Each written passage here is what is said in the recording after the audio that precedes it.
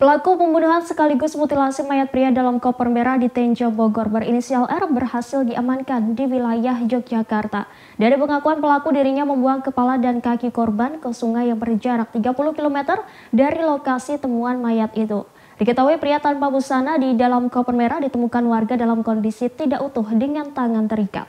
Hal ini disampaikan Kasih Umas Polres Bogor Ibtu Desi Triana pada Jumat 17 Maret 2023. Desi mengatakan pelaku membuang kepala dan kaki korban di sungai daerah Tangerang.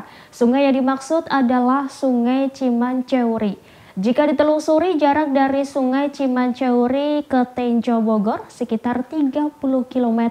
Bahkan jika ditempuh menggunakan mobil membutuhkan waktu satu jam lebih untuk sampai lebih lanjut, Desi menuturkan bahwa Polres Bogor saat ini masih berupaya mencari bagian kepala dan kaki mayat dalam koper tersebut.